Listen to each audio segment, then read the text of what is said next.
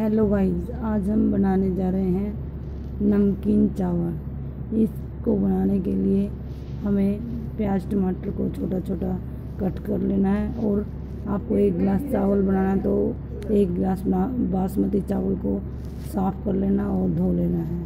अब हमें एक कुकर लेना है, उसमें मस्टर्ड ऑयल डालना है और मस्टर्ड ऑयल को गर्म होने दें, फिर उसमें आधा चम्मच जीरा डालें और फिर हम, हमारे कटे हुए प्याज को हमें उसमें, कुकर में डालना है।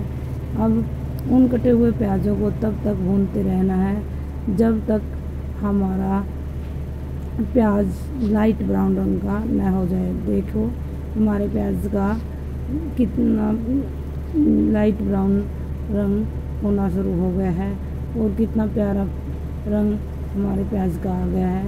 अब हमें जब हमारे प्याज ब्राउन रंग के, लाइट ब्राउन रंग के जाए तो हमें अब इसमें टमाटर, जो और हरी मिर्च जो हमें कट की थी, वो डालनी है। वो डालनी है और इसे मिक्स कर देना है। अब हम टमाटर को मिक्स कर, करेंगे। अब टमाटर को मिक्स करने के लिए अब हमें इसमें मसाले डालेंगे। मसालों में, मसाल, मसाले डालेंगे। इन मसालों में हम एक चम्मच नमक और लाल मिर्च पाउडर,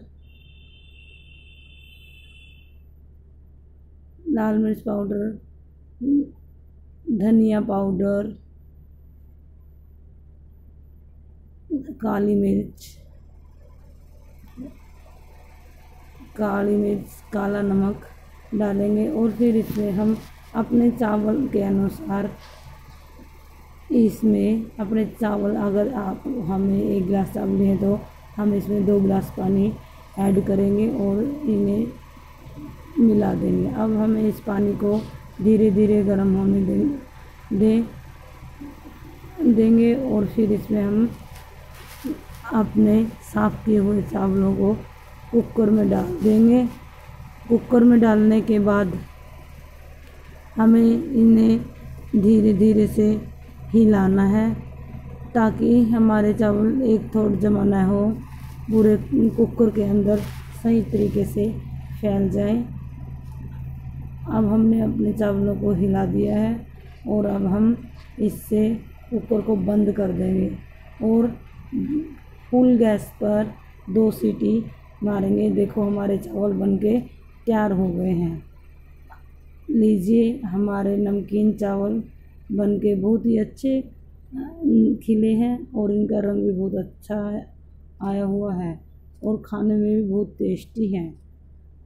आपसे विनती है, आप इस तरीके से अपने नमकीन चावलों को बनाकर देखें और खाकर बताएँ कि हमारे चावल खाने में कितने टेस्टी और खिले खिले बने हैं। इसके लिए देखो, आप, हमारे चावल कितने खिले खिले हैं। धन्यवाद।